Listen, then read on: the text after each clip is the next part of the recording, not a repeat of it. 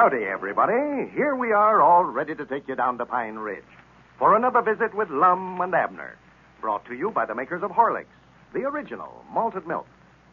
Well, folks, I wonder who's going to be elected president of the new Jot 'em Down store. Will it be Lum or will it be Abner? Abner was out in front last night, but there's still a lot of precincts to be heard from yet. Now, you can cast a vote for your favorite, you know, and at the same time get a handy little aluminum flashlight with the compliments of Lum and Abner. A powerful, useful, little pocket sized flashlight. The same kind that you'd have to pay 75 cents for if you bought it in a store. But all you have to do to get this fine little flashlight is send in the outside wrapper from a package of Horlicks malted milk powder. You can use a wrapper from any size package, either natural or chocolate flavor, but it must be from Horlicks malted milk powder. Wrappers from Horlicks tablets are not eligible. All right, write your name and address on the back of the wrapper and then mail it, enclosing 10 cents to cover packing and mailing costs to Lum and Abner, care of the station to which you are listening. You got that? All right.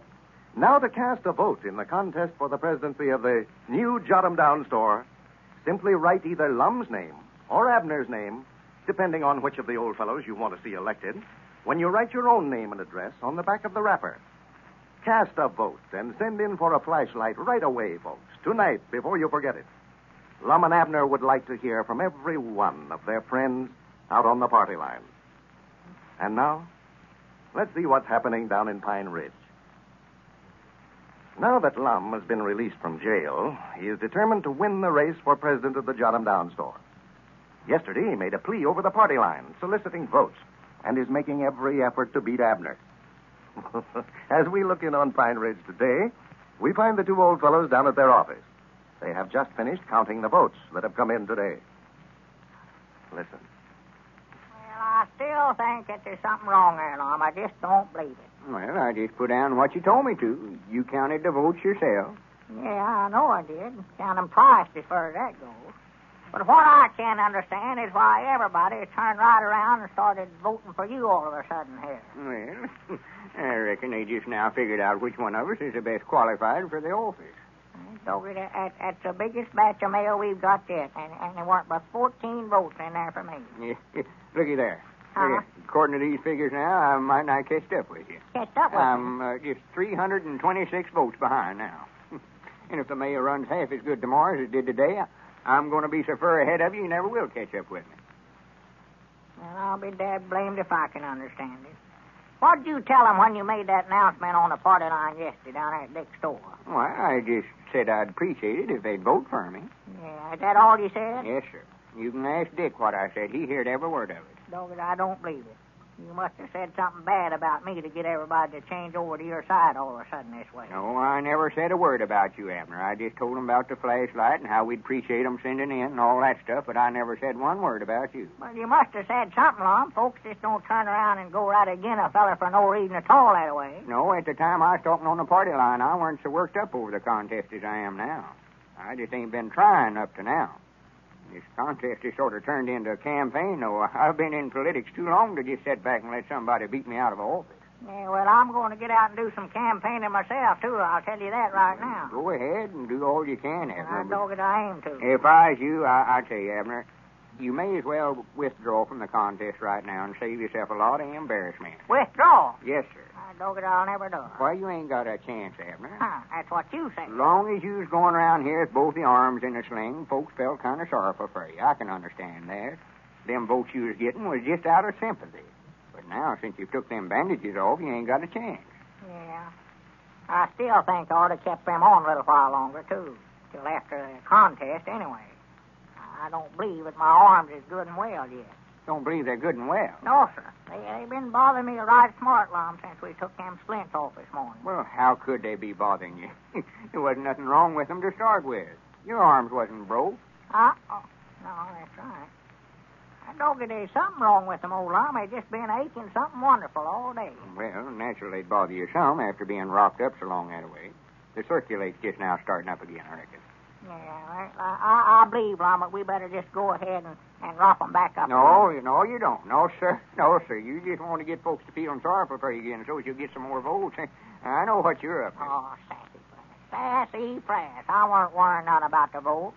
I still got a big lead on you. Yeah, you have right now, but just recollect the battle ain't over till the last shot's fired. Huh? I say the battle ain't over till the last shot's fired. What battle? Uh, battle between me and you. I say it ain't over till the last shot's fired.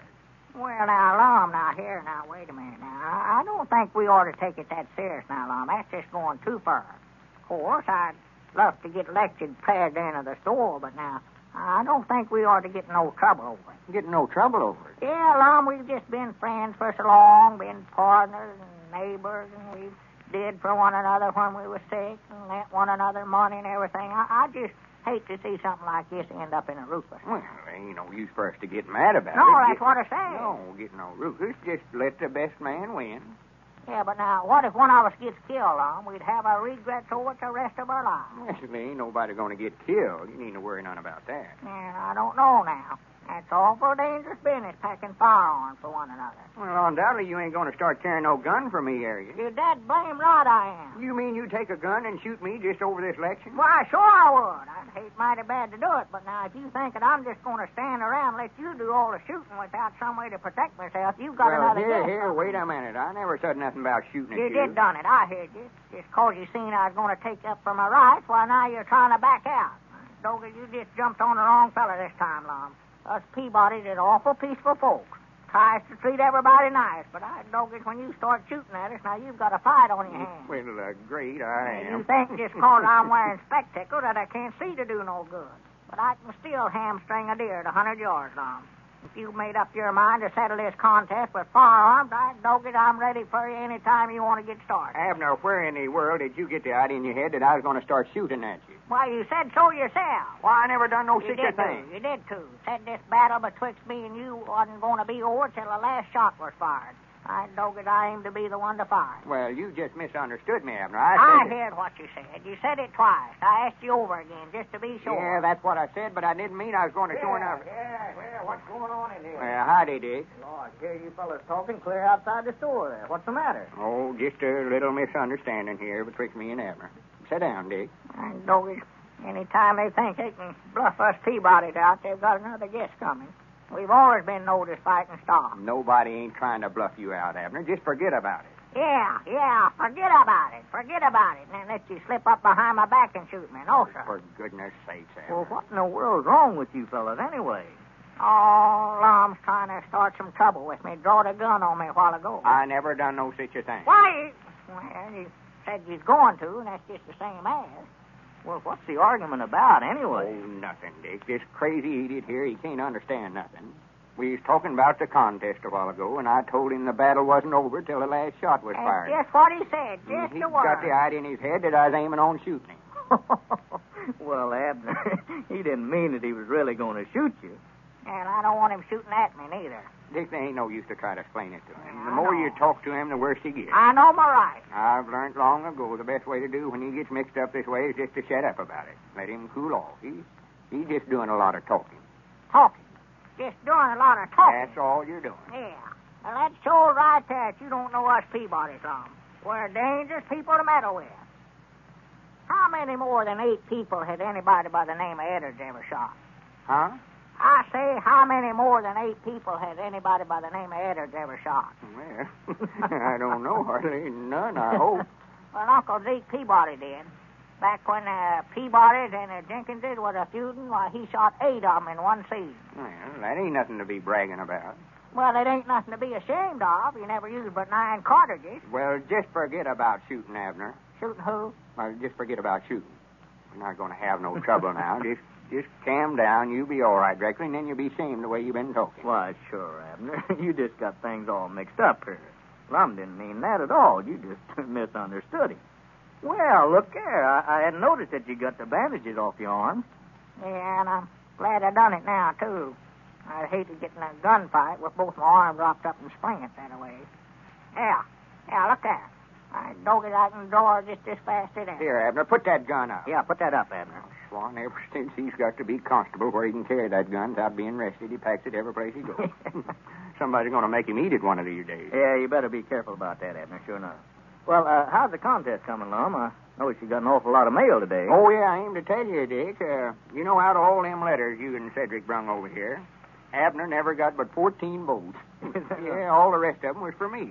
Well, say, you kind of staged a comeback, didn't you, oh, yeah, I think that talk I give 'em on the party line yesterday sort of woke some of 'em up. Yeah, well, I knew if you just made up your mind to get in there and fight, that you could make good contest. Oh, yeah, I aim to put on a campaign now like you never heard of before.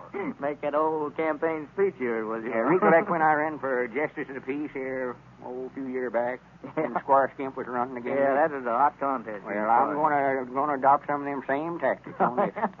To put signs around town and everything. Stump speak the county if necessary. Well, that's the thing to do. You and Abner both just work your best. I'm going over to Cherry Hill tonight to make a little talk. Oh, are It's a good roads meeting over there. I think I'll get up there and tell them about the contest whilst I'm over there, on my feet and all. Yeah, well, I was aiming on going over there to that meeting, too. I heard about today. Uh, Granny, if you're going, I'd love to ride over with you. Why, sure. I'd be glad to have you. There's plenty of room, Lum. Just get in and go with us. I'm getting enthusiastic, or enthusiastic, yeah, enthusiastic over this contest now. Uh, only ain't but uh, 326 votes behind, you know. Well, say, now, this is developing into a pretty close contest now.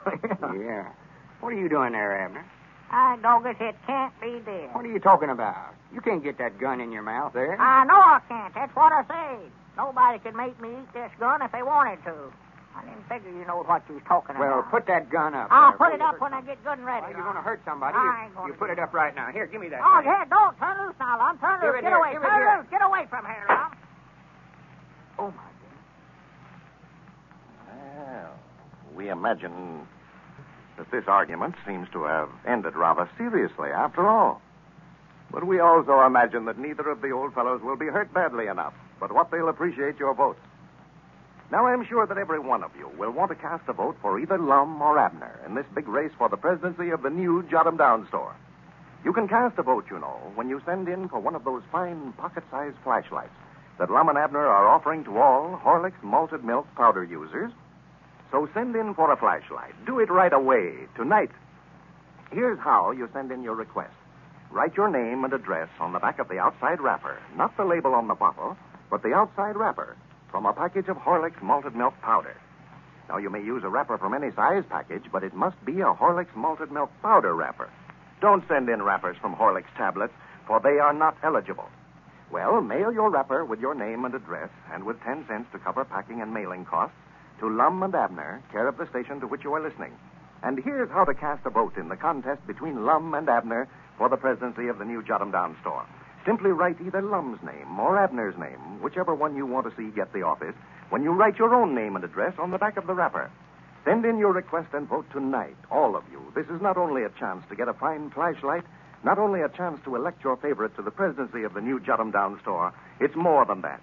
It's a chance to express your appreciation of Lum and Abner and of their sponsor, the makers of Horlicks. This is Carlton Brickert speaking for Lum and Abner and Horlicks, who now bid you all good night and good health.